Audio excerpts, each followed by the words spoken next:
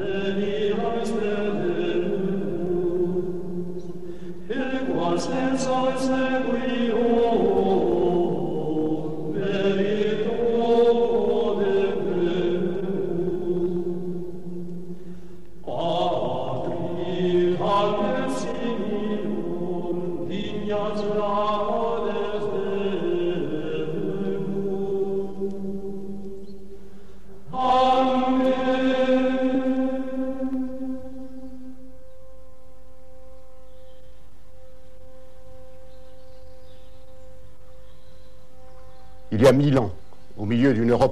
déserte, famélique, écrasée par la brutalité des gens de guerre,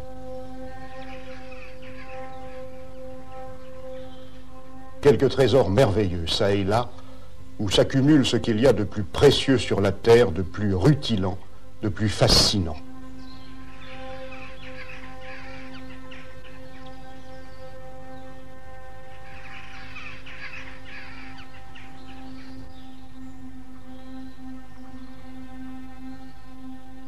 Étonnant contraste entre la pauvreté, la sauvagerie commune et la perfection splendide d'un art qui est royal, impérial.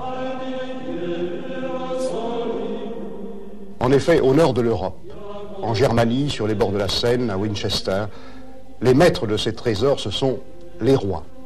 Des rois qui se disent les héritiers de Charlemagne et par conséquent des empereurs romains. C'est pourquoi l'art du Nord apparaît comme une renaissance, ou plutôt, ce qui revit de la tradition antique, classique, volonté de classicisme.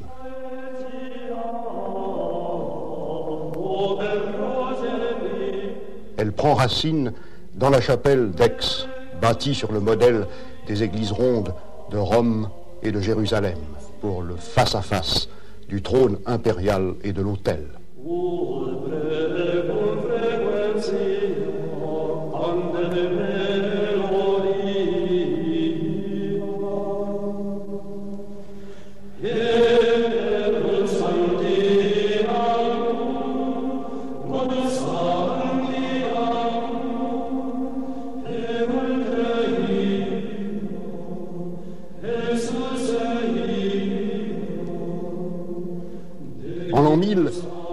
Volonté de classicisme rejaillit sur les figures d'or de l'autel de la cathédrale de Bâle, sur les pages des livres peints pour l'empereur Henri II.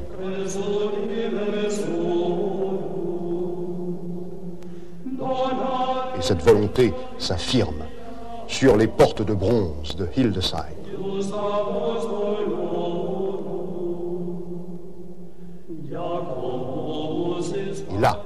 En pleine barbarie, on peut voir les germes de toutes les renaissances humanistes qui dès lors vont se succéder.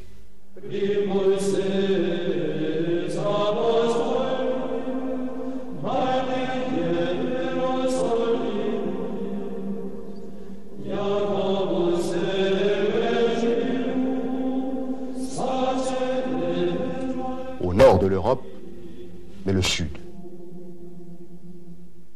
Dès qu'on a passé la Loire, dès qu'on a passé les Alpes, on entre dans une autre province de la culture. Ici, les rois sont aussi lointains, aussi peu visibles que les dieux. Et on les nomme encore, on prononce leurs noms dans les liturgies, mais on ne les voit plus. Et la royauté est devenue une idée, un mythe, un souvenir, un souvenir d'ordre, de paix et de justice. Mais la réalité, c'est l'exubérance féodale où la royauté s'est complètement désagrégée. Si bien que le rôle que les cours royales vacillantes tiennent encore au nord de l'Europe dans la création artistique, ce rôle maintenant au sud, ce sont les monastères qui le remplissent, et spécialement dans le nord-est de l'Espagne. En Espagne, pas de frontière entre les chrétiens et les musulmans. Des affrontements militaires permanents, des alternances de succès et de revers. Tantôt, euh, ce sont les escadrons de l'islam qui foncent sur Barcelone jusqu'aux Pyrénées, tantôt au contraire. Ce sont les guerriers du Christ qui galopent jusqu'à Cordoue, qui forcent les portes de Cordoue. Mais de vraies barrières, jamais, et des échanges toujours. Il existe comme une chaîne de communautés chrétiennes qui relie les monastères de Catalogne, Cardona, Saint-Père de Roda, au très vieux, au très vivace foyer de la chrétienté orientale. Et sans cette communication, sans cette conjonction, on ne comprendrait pas les innovations architecturales dont les églises des Pyrénées furent le lieu au début du XIe siècle. Et on ne s'expliquerait pas surtout cet accent, cet accent puissant qui marque à Gérone en pleine Catalogne les peintures ornant ce manuscrit du commentaire de l'Apocalypse.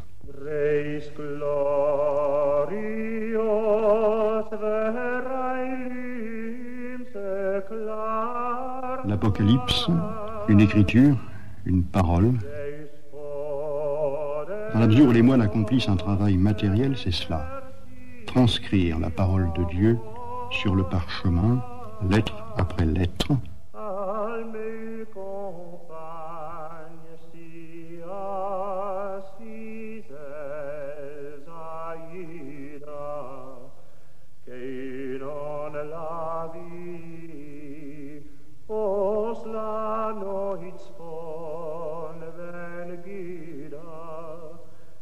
ce sont les serviteurs de la parole, les serviteurs d'un roi, du roi des rois, et comme les domestiques des cours royales, ils s'empressent à glorifier leur Seigneur. Ce Seigneur dont la présence en ce monde se révèle d'abord par des mots. Des mots qui sont la clé de l'autre monde, des mots de passe, mystérieux.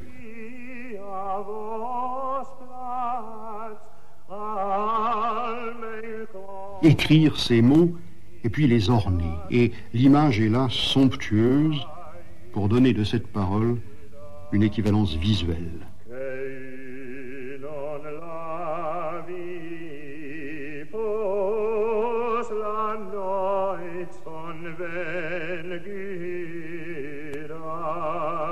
Comme les cours des rois du Nord, mais beaucoup plus efficacement, les monastères du Sud sont alors les grands ateliers leur tâche, donner à voir l'invisible.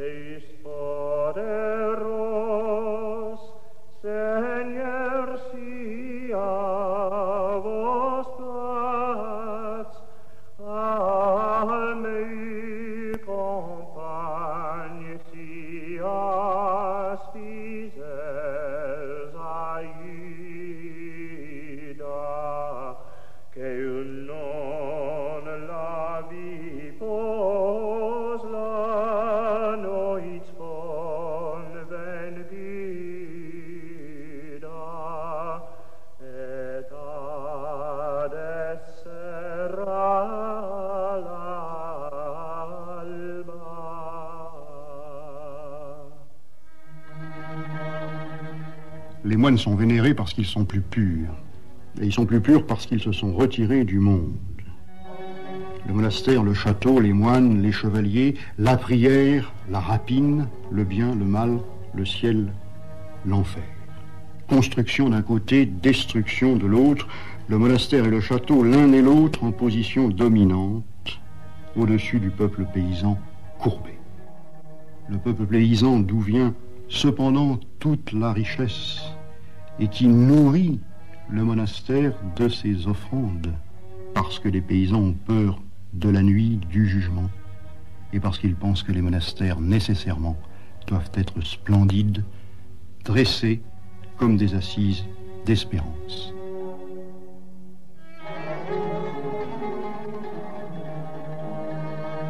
Le XIe siècle a choyé ces monastères les moines ont gouverné le grand art. Les grands foyers de l'art nouveau, ce sont les monastères.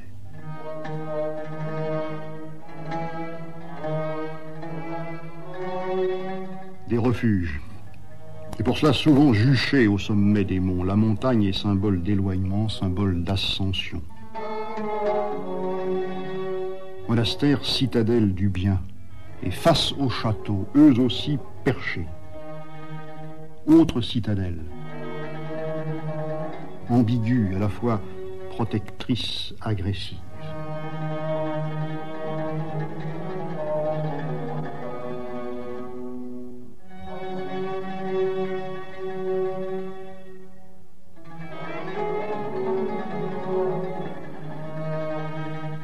cerné de solitude, le monastère est entouré des champs qui le nourrissent, qui nourrissent quelques dizaines, parfois plusieurs centaines d'hommes, tous sortis de l'aristocratie et rassemblés dans une famille.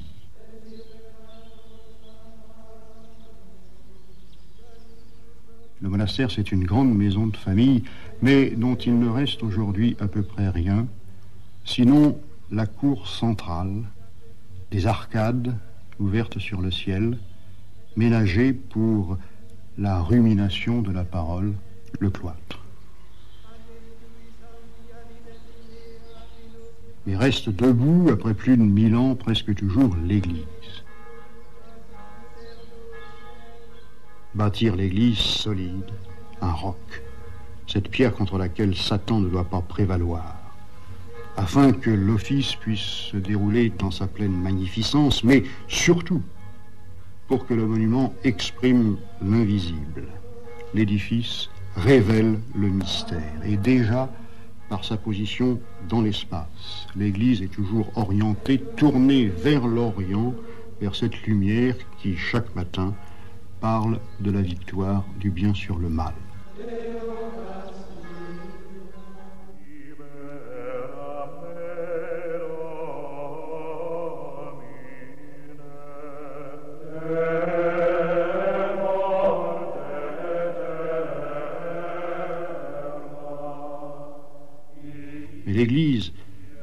Aussi par sa structure. Et c'est pour ça que les constructeurs de l'Europe du Sud ont voulu qu'elle soit tout entière en pierre pour exprimer l'unité de substance qui est celle de Dieu.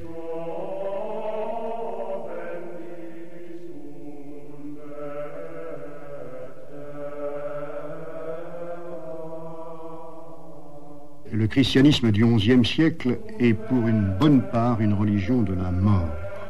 Et c'était l'une des fonctions principales du monastère que d'opérer la communication, la communion entre les vivants et les morts, entre l'espace de la vie et ce séjour des morts qu'est la crypte. Et les expériences architecturales tâtonnantes sont parties de là. Remplacer la colonne par le pilier, la charpente par les voûtes, et peu à peu, plus audacieux, le voûtement s'est développé, s'est épanoui comme une fleur.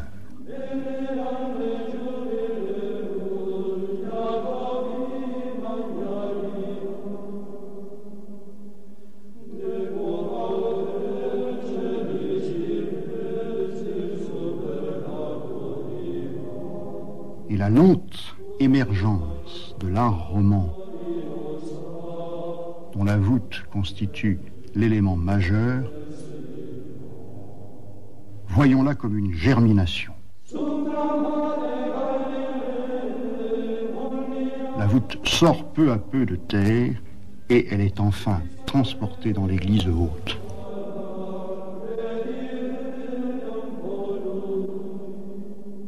Dans l'église haute, les moines remplissent ce qui est leur fonction spécifique. Ils prient. Ils prient pour le peuple tout entier. Prier, c'est-à-dire chanter. L'âge roman ne connaît pas la prière personnelle et muette. Sa prière est collective, unanime. À voix haute, à plein poumon, huit heures par jour, un travail exténuant.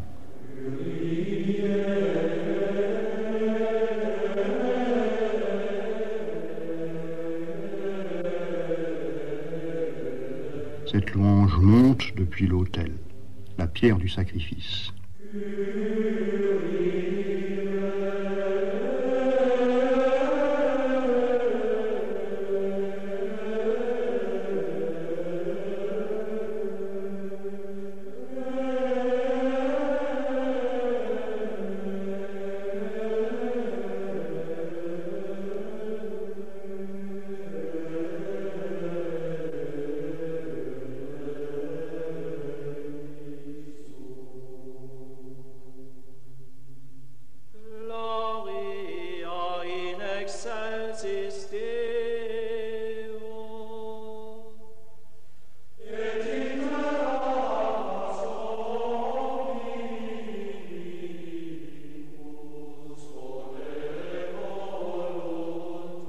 Liturgie qui se déploie comme une danse très lente dans tout l'espace intérieur, tout au long de la nef qui s'allonge précisément pour ménager le chant d'une déambulation processionnelle, une ronde majestueuse autour de l'autel, entre les pierres des murs, sous les pierres de la voûte.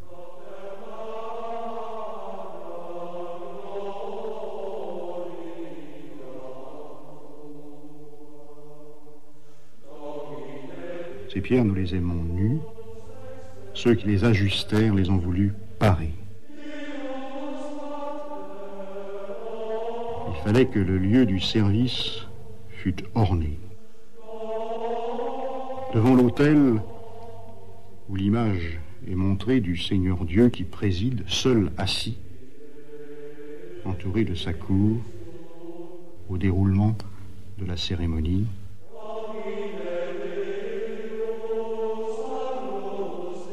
tous ces tissus que l'on tendait aux fêtes majeures, historiés, racontant le monde.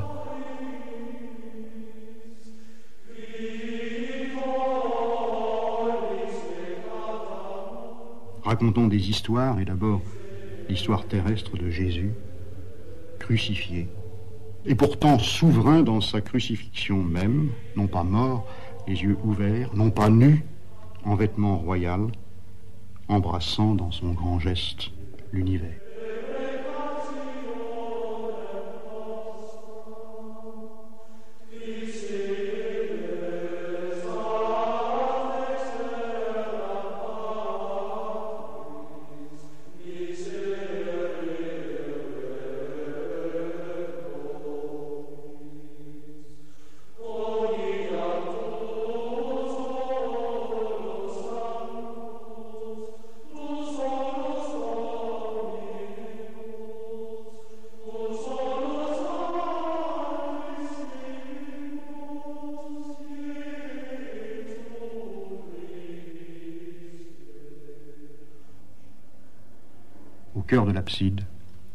Jésus ressuscité, trônant, impérial, éternellement, et tel qu'il apparaîtra lorsque le voile sera déchiré, lorsque le ciel s'ouvrira, et que tout entière l'humanité, au terme de sa marche, sortira du temps.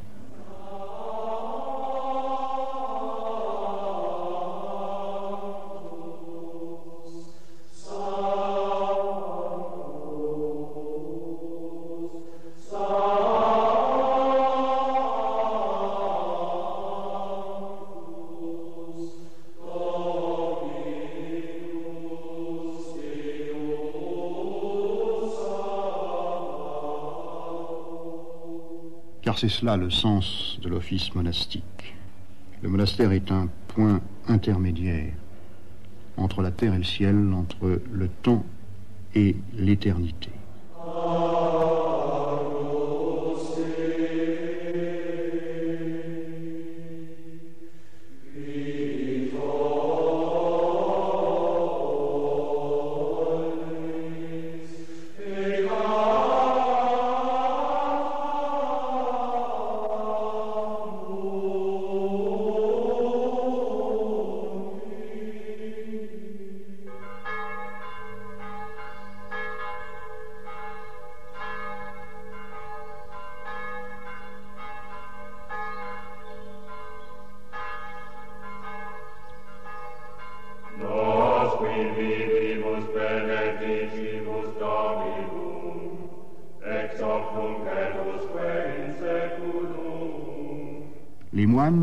Quelques hommes délégués par le peuple pour qu'ils gagnent pour lui le salut, pour qu'ils captent le pardon divin et qu'ils le répandent autour d'eux sur toute la contrée.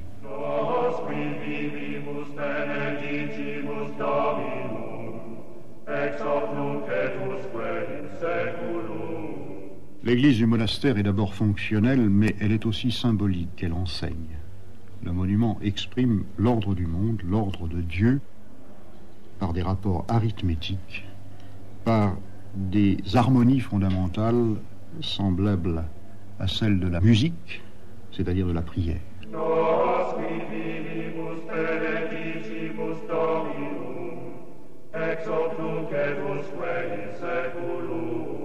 Ce ne sont pas les moines qui ont bâti les églises du XIe siècle, ce sont des ouvriers, des salariés. C'est peut-être sur ces chantiers que se sont formées les premières associations de métiers.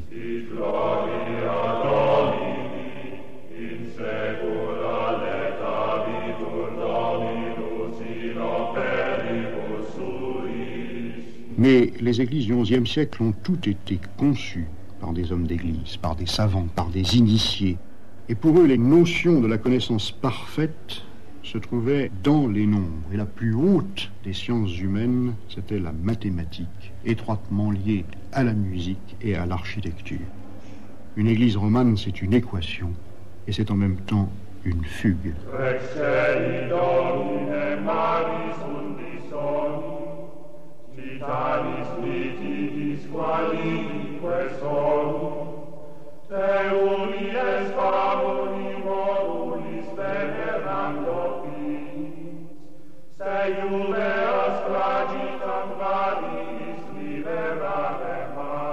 Des chiffres associés, chargés chacun d'un sens mystérieux. Un évoque Dieu l'unique, deux le Christ en qui s'unissent les deux natures, trois la Trinité. Le sens du chiffre 4 est très riche. C'est le nombre de l'univers créé, les quatre points cardinaux, les quatre vents, les quatre fleuves du paradis, les quatre éléments de la matière. Mais ce nombre renvoie aussi à la parole, à la morale, les quatre évangélistes, les quatre vertus cardinales, tout un enseignement, un enseignement secret, accessible aux seuls initiés, inscrits dans l'édifice, comme est inscrit au carré du transept le signe même du passage, de la fonction intermédiaire de la prière des moines. En ce point, le regard passe, en s'élevant, du carré au cercle, c'est-à-dire à, l'image à la fois du temps et de l'éternité, image centrale de sublimation, de transfiguration. Du carré au cercle, le passage, l'ouverture vers le paradis attendu, espéré, le retour au paradis perdu.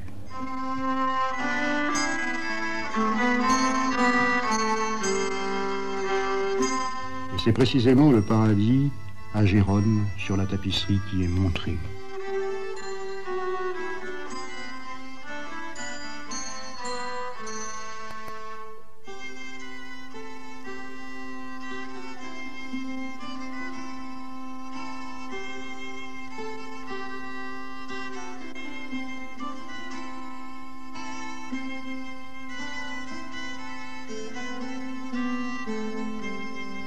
Le Seigneur Dieu modela encore du sol toutes les bêtes sauvages et tous les oiseaux du ciel, et il les amena à l'homme pour voir comment celui-ci les appellerait.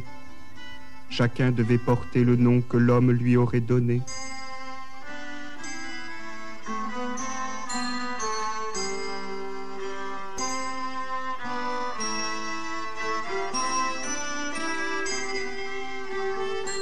L'homme donna les noms à tous les bestiaux, aux oiseaux du ciel et à toutes les bêtes sauvages.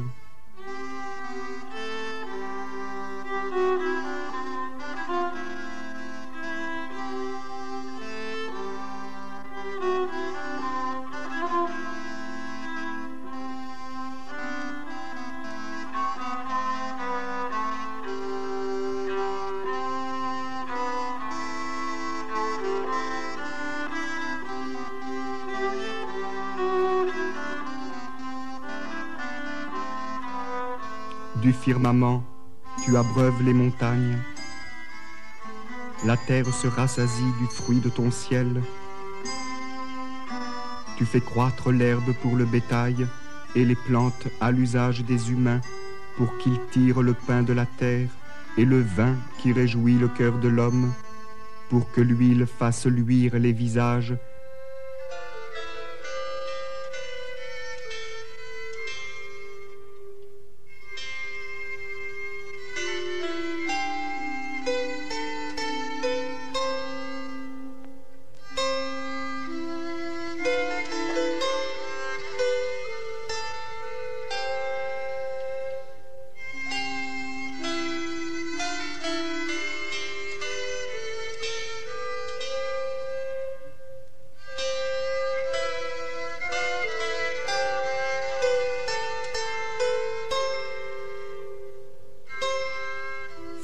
les nuages du bout de la terre.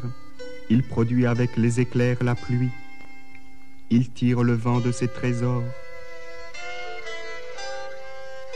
La cohérence du monde. Un monde auquel préside, installé au centre du cercle, un Christ jeune, imberbe, serein. Le monde avant la faute, avant le péché. La paix.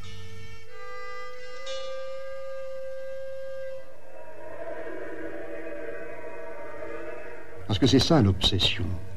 La grande interrogation à quoi l'art, comme la prière, cherche réponse. Pourquoi le mal? Présence du mal. Le monde est pourri. Les plantes en réalité sont vénéneuses, les animaux en réalité sont méchants, les hommes inquiets, frénétiques, pervers, cruels.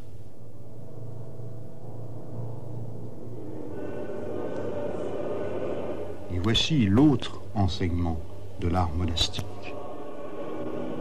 Les saints de Dieu, ces saints qui reposent dans les sarcophages de la crypte. Ils ont été, lorsqu'ils étaient vivants, la proie du mal. On les a eux aussi torturés, on leur a crevé les yeux, on les a bouillis, sciés en deux, mis en pièces, dans le monde.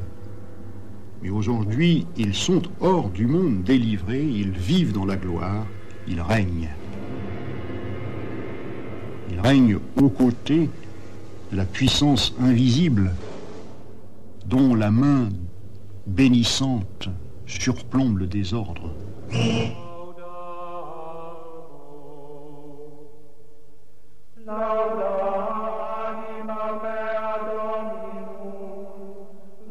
Christ farouche, porteur du glaive de victoire, Christ chef de bande aussi terrible que le plus terrible des chevaliers, foudroyant, piétinant les souverains de la terre, abaissant les orgueilleux, exaltant les plus humbles.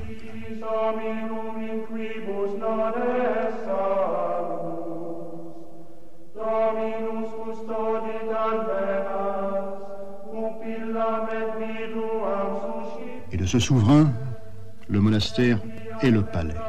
Et c'est pour cette raison qu'il doit être superbe. Et c'est pour cette raison que tous, les guerriers comme les paysans, donnent ce qu'ils ont aux moines à l'heure de la mort. Le palais, l'antichambre du paradis, où l'on attend que la porte s'ouvre, où l'on frappe, où l'on crie pour qu'elle s'ouvre plus vite, pour qu'il en soit fini du mal et des misères, pour que la lumière enfin déferle. Le monastère, lieu d'attente, attente de la fin du monde, du jour de colère, d'éblouissement et de justice, ce jour terrible dont parle l'Apocalypse. L'agneau brisa le premier seau, et je vis un cheval blanc. Celui qui le montait tenait un arc. On lui donna une couronne et il partit en vainqueur. Quand il brisa le deuxième seau, surgit un autre cheval rouge feu. À celui qui le montait, on ordonna de bannir la paix hors de la terre et de faire que les hommes s'entretuent, on lui donna une grande épée.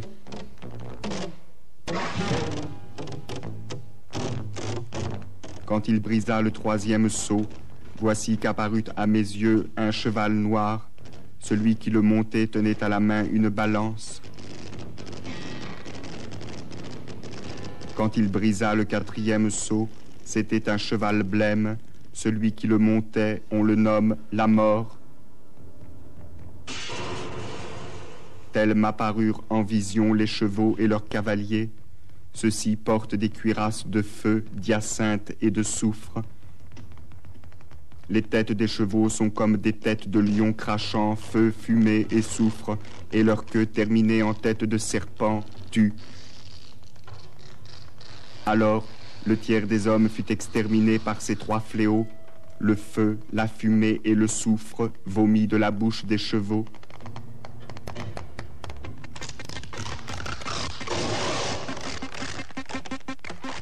sauterelles qui font penser à des chevaux équipés pour la guerre, sur leurs têtes des couronnes d'or.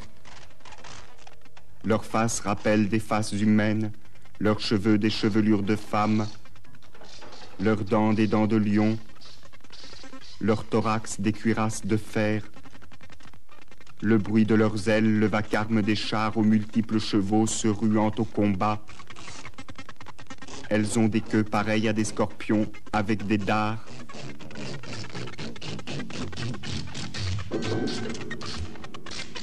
Alors périt toute chair qui se meut sur la terre, oiseaux, bestiaux, bêtes sauvages, tout ce qui grouille sur la terre et tous les hommes, tout ce qui avait une haleine de vie dans les narines, tout ce qui vivait sur la terre ferme mourut.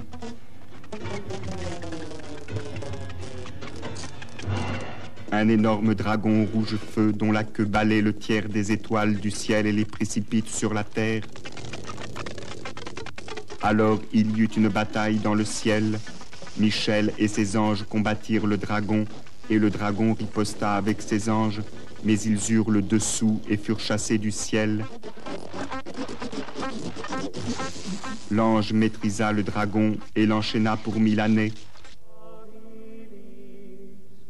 Voici qu'apparut à mes yeux une foule immense que nul ne pouvait dénombrer, debout devant le trône et devant l'agneau, des palmes à la main. Les anges autour du trône et des quatre vivants se prosternèrent. Ils proclamaient Amen, louange, gloire, sagesse, action de grâce, honneur, puissance et force à notre Dieu pour les siècles des siècles. Amen.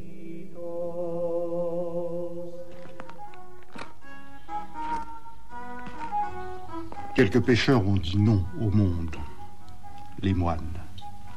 Et pour tous les autres, il existe un autre moyen de gagner l'amitié de Dieu, c'est de partir, le pèlerinage.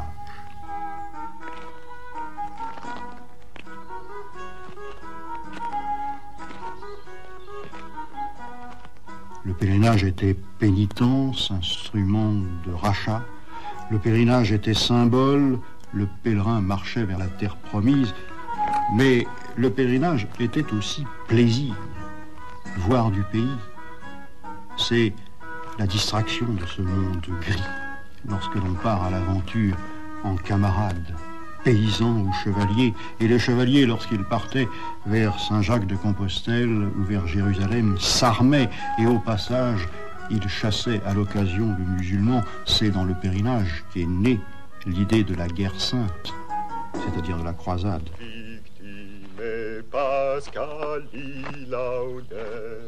immolent Christiani, Agnus redemit hoves, Christus innocens patri, reconcilia vit peccatores. Sepulcrum Christi viver en et gloriam vidi resurgenetis. Angelico testes,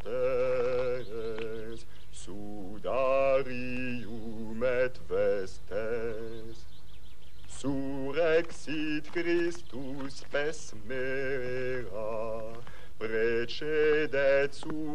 Les chemins du pèlerinage divaguaient de monastère en monastère. Un monastère à chaque étape où l'on était reçu, nourri, bien nourri, mais où l'on était aussi enseigné.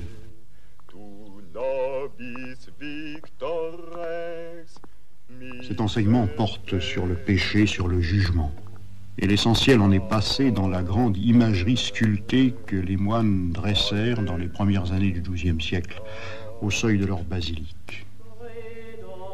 La gloire de l'Éternel, à lui seul la puissance, le droit de punir, le droit de séparer, de distribuer par ce grand geste du tympan de conque la diagonale inexorable la main droite levée vers les élus, la gauche abaissée, punissante. Un partage définitif entre ce qui est encore dans le monde inextricablement mêlé, le bien et le mal.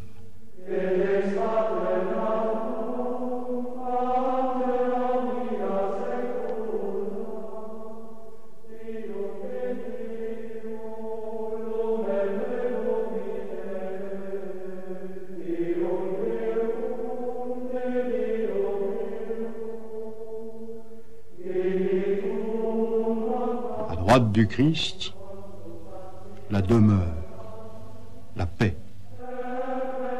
les rythmes harmonieux de l'architecture.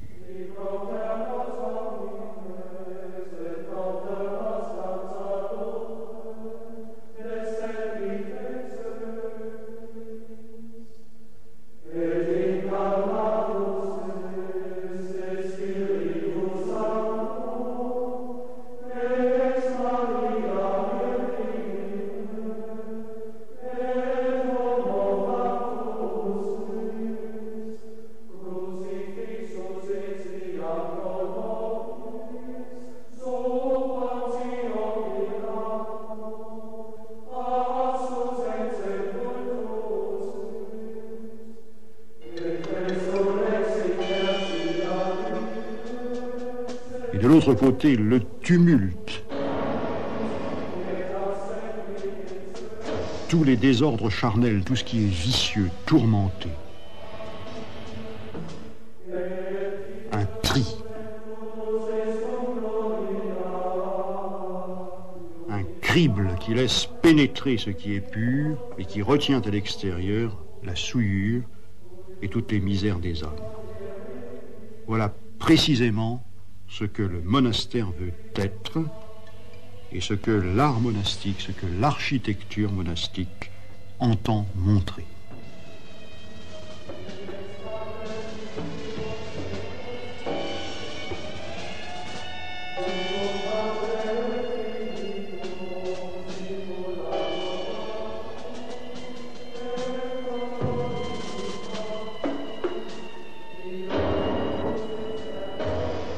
Passer la porte, franchi le seuil, préfiguration de cet autre franchissement qui s'accomplira à la fin du monde, le pèlerin entre dans l'univers de la paix, de l'ordre.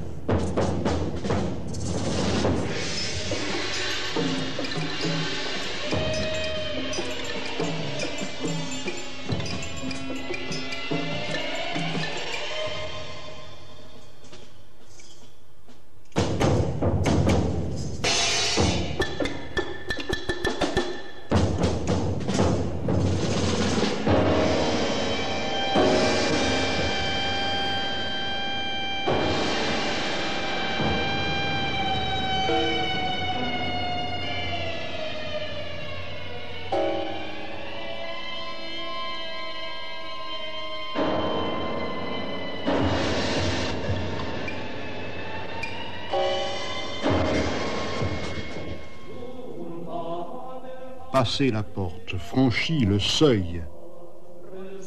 Le pèlerin entre dans l'univers de la paix et de l'ordre.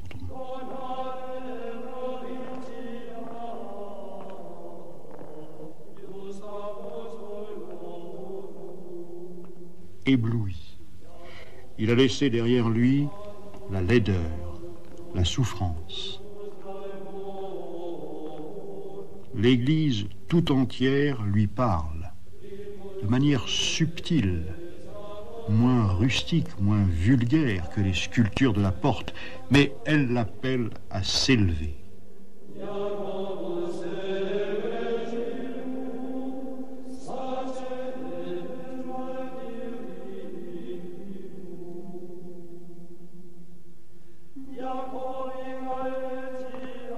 La disposition même de l'édifice, le conduit peu à peu vers cette merveille cachée, le reliquaire, l'habitacle du corps saint, de ce débris de ce qui reste sur la terre, du personnage qui maintenant siège au tribunal de Dieu, qui est l'assesseur du grand juge, un ami qu'il faut gagner.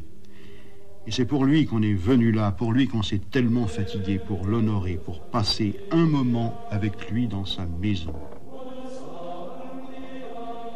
Aussi, le soir, dans ces tribunes hautes que l'architecte a disposées pour que la circulation des pèlerins ne trouble pas le déroulement des liturgies, le pèlerin vient chercher une petite place dans la foule pour dormir passer la nuit, une incubation, dormir avec, attendre l'aurore dans la compagnie du saint, attendre le retour de la lumière, la délivrance, et qui sait, l'aube peut-être sera celle du dernier jour, celle du grand passage, dans la sonnerie des trompettes.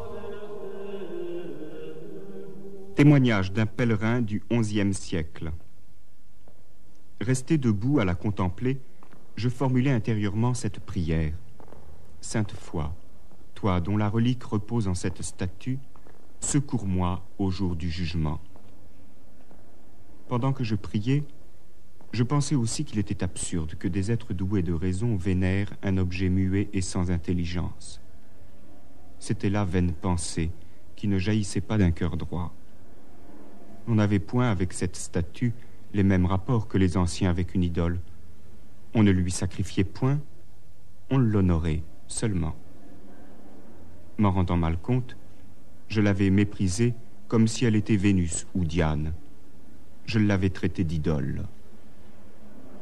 Je me repentis amèrement par la suite de ma conduite stupide envers une sainte de Dieu. Le doyen de Conques, un homme probe et vénérable, me raconta l'aventure d'un clerc un jour où l'on avait transporté la relique, cet homme avait arrêté la procession des pèlerins. Déblatérant contre la sainte martyre, il proférait je ne sais quelle ineptie sur son image. Mais la nuit suivante, il lui sembla qu'une dame lui apparaissait, revêtue d'une majesté terrifiante. Eh bien, lui dit-elle, misérable, tu t'es permis de dénigrer mon image? Ayant dit, elle frappa notre amie de la baguette qu'elle tenait à la main aussi longtemps qu'il vécut, il raconta cette vision pour qu'elle parvint à la postérité.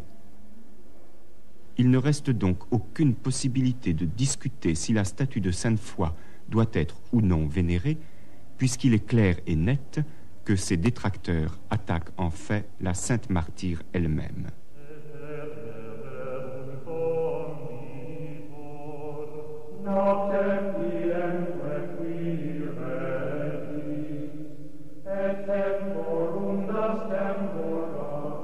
Vénérée, euh, sainte foi le fut, parée, tout entière recouverte de ce que cette société si pauvre, si démunie, possédait de plus rutilant.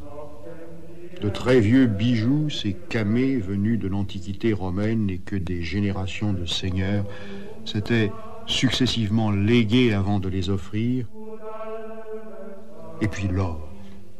Cet or que l'Occident agressif, conquérant, victorieux, allait maintenant prendre par le succès des armes ou par les commerces de la paix dans l'Espagne encore infidèle.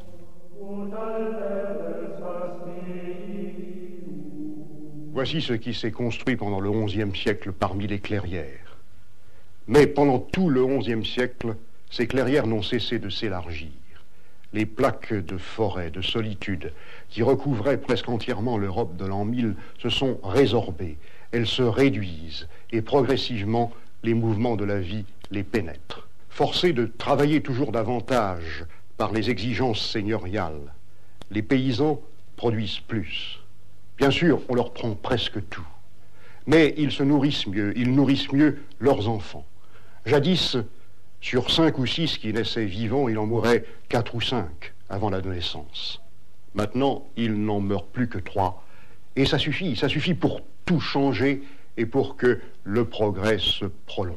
Le grand art dont j'ai parlé est sorti de cette misère, de cette oppression. Il est sorti de la prosternation du peuple devant les puissances obscures qui jettent sur le monde l'épidémie, l'invasion, la famine, et qu'il faut se concilier, se concilier par des offrandes au Dieu bon, au meilleur serviteur du Dieu bon, c'est-à-dire aux gardiens des reliques miraculeuses, c'est-à-dire aux moines. Des moines toujours plus riches, mais qui, eux aussi, se sentent tenus de donner, d'offrir. D'offrir quoi? L'œuvre d'art. L'art monastique est un appel à la paix lancé d'un bout à l'autre de l'Europe par ces congrégations qui, peu à peu, rassemblent les monastères autrefois isolés, qui les agglomèrent dans des familles. Et à la fin du XIe siècle, surplombant toutes les congrégations monastiques, l'une souveraine, l'ordre de Cluny. Et l'abbé de Cluny, seul maître de cet immense empire, plus puissant que le pape, plus puissant que l'empereur germanique, c'est lui le véritable héritier de la puissance impériale. Et ainsi, la conjugaison de tous les efforts monastiques, cette mise en commun, fait que le développement se poursuit. Un développement parallèle à ce progrès très terre-à-terre, obstiné, que font toutes les petites victoires paysannes, mais un développement, lui, culturel, intellectuel, spirituel.